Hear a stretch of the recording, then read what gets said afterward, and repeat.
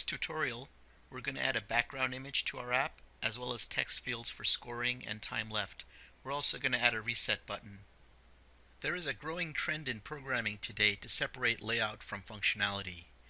Perhaps the most extreme example of this is web design. In web design languages, CSS, or cascading style sheets, are used to store layout information. HTML is used to store content, and JavaScript is used to store code that creates action.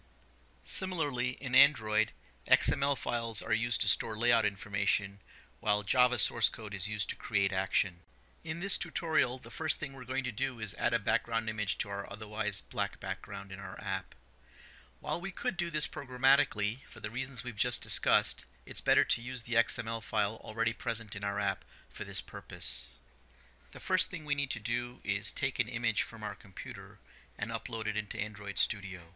On my PC, I already have this Android Lock 2 file that was taken from an App Inventor 2 project, but you can use any background image you want for your app. I'm going to take this now and install it under Android Studio.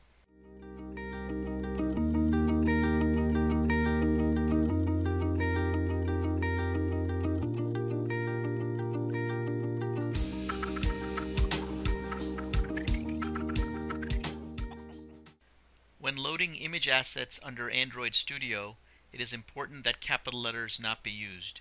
Also, special characters are highly restricted, although underscores are permitted. As we add the background image and other widgets to our app, we can do it by directly manipulating the XML file, or we can use the WYSIWYG editor.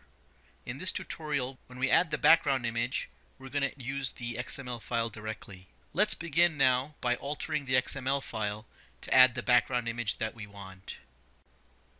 Let's begin by removing this default text view with the hello world that appears at the beginning of every app.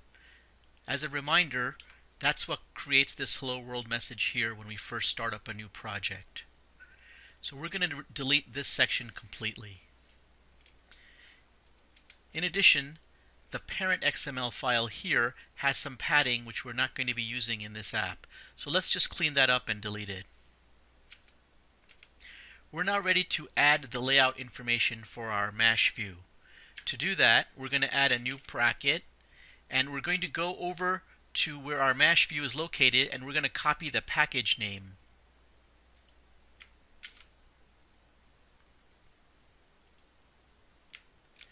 And we're going to insert that here, followed by the term MASH view, which is going to be uh, our view class that we're defining the layout for. You can see we're getting some error messages because we have failed to define the layout width and the layout height which are required for every layout. So let's do that now. In addition to defining the width and the height of the layout, we've also added the background image with that one single line.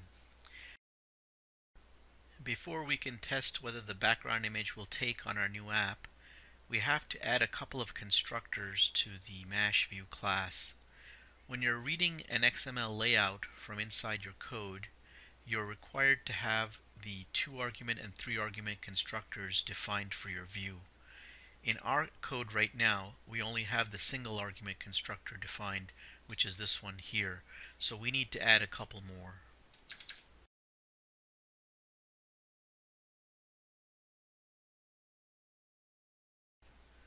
Okay, we've added the constructors now, and we're simply going to make all three of them work in the exact same way. So we're going to restructure our constructor slightly. We're going to take all the code that's currently in our constructor and put it in a separate initialization method and call that initialization method from each of the constructors that we have defined. So what I've done here is I've extracted all the code from the constructor and put it into this initialize, initialize method and I've called this initialize method from each of the other constructors.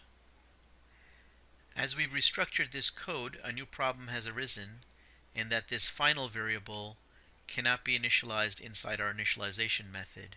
So what we're going to do is we're going to turn that into a local variable.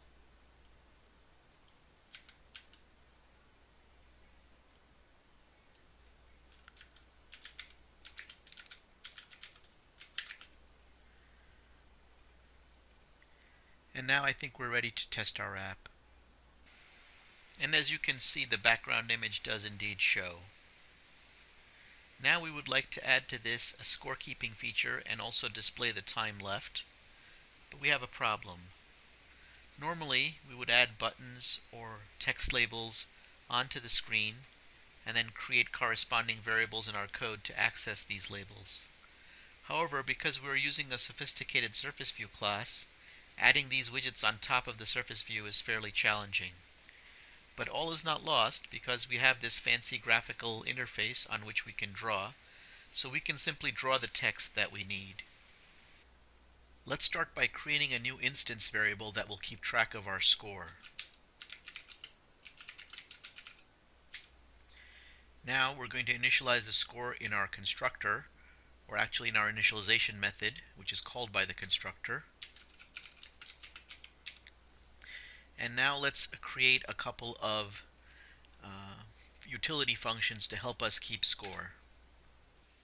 I've added these two utility functions, one to increment the score by one and the other to set the score to any value the user wants.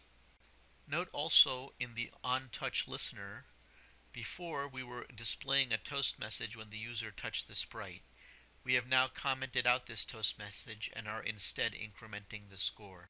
We're now going to create a new state variable that keeps track of how much time is left on the timer.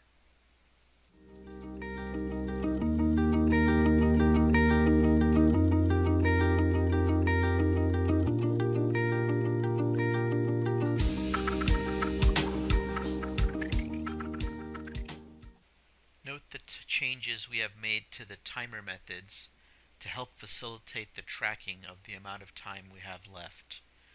The invalidate method calls in both of these methods will force a redraw. Now we need a way to display the information about the score as well as how much time is left to the user. We want to make the output look as though there were text fields in the original screen layout.